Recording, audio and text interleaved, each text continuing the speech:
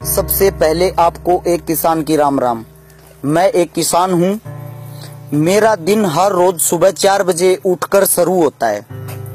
सबसे पहले मैं सुबह उठकर भगवान का नाम लेता हूँ। उसके बाद अपने पशुओं की संभाल करता हूँ।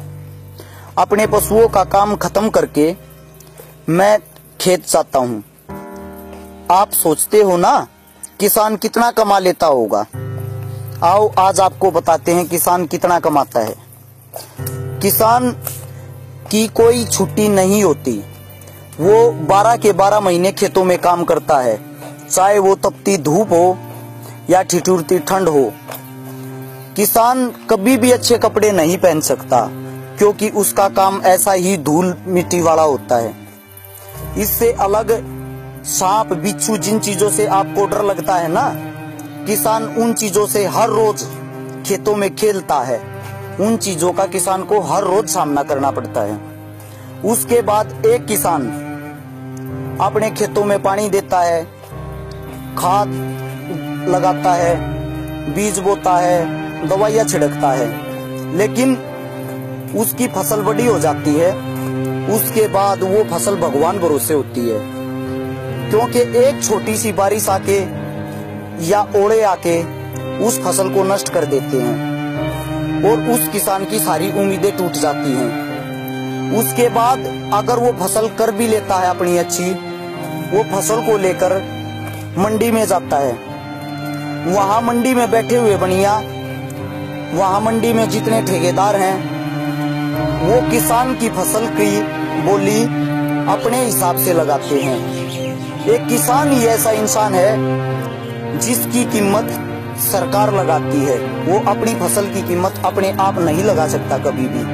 और बाकी आपने देखा होगा, जितने भी बिज़नेस काम करने वाले लोग हैं, वो अपनी बिज़नेस का, अपने काम का दाम अपने आप लगाकर बाज़ार में बेचते हैं। आखिर ये हक किसान को क्यों नहीं दिया जाता? क्या खेती करना एक आसान काम है?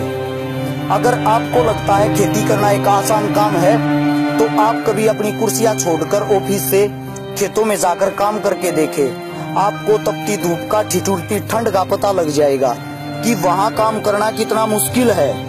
और अगर किसान की फ़सल बर्बाद हो जाती है, वो अपना घर चलाने के लिए सरकार से लोन लेता है। लोन लेने के लिए वो मजबूर होता है, क्योंकि उस पैसे से उसको कोई अयासी नहीं करनी होती। उस पैसे से उसको अपना घर चलाना होता है। अगर आपने किसान के घर में जन्म लिया हो ना तो आपको पता लगता है। और लोन लेने के बाद किसान ये नहीं सोचता कि मेरे को लोन नहीं भरना है। वो लोन भरता है, लेकिन भगवान उसकी फ़सल को जब बर्बाद कर देता है, उसके पास कोई रास्ता नहीं रहता तो वो लोन भरने में असमर्थ हो जाता है।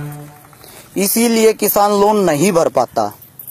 और जब वो लोन नहीं भर पाता, उसके चारों तरफ़ से रास्ते बंद हो जाते हैं तो किसान के पास सिर्फ़ एक ही रास्ता होता है। वो रास्ता होता है आत्महत्या का। इसीलिए किसान आत्महत्या करते हैं। आप आत्महत्या करने पर मजबूर ना करें। इस बात को समझे। जय हिंद।